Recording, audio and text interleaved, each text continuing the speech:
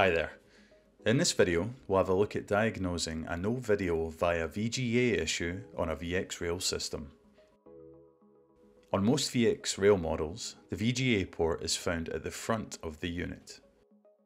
These systems also have a VGA port on the back of the system.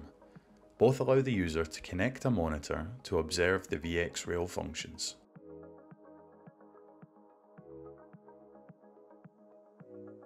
If a connected monitor is showing the self-test box, it shows that it's not receiving a signal.